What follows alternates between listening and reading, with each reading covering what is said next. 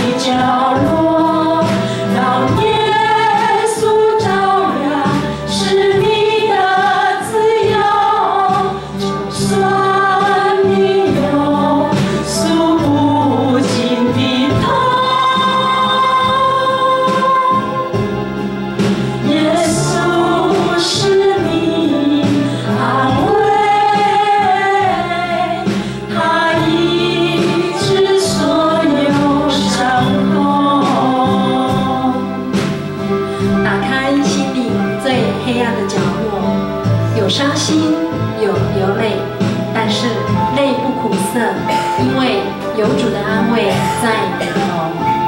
打开心灵最黑暗的角落，有看不到尽头的长路，但是我的心不惶恐，因为有主张开双臂等着拥抱我。我的伤心，主都知透；我的重担，主为我拖走。感谢主。您带我打开生命黑暗的角落您点着的灯将带领我您必将生命的道路指示我感谢主。打开心灵最黑暗的角落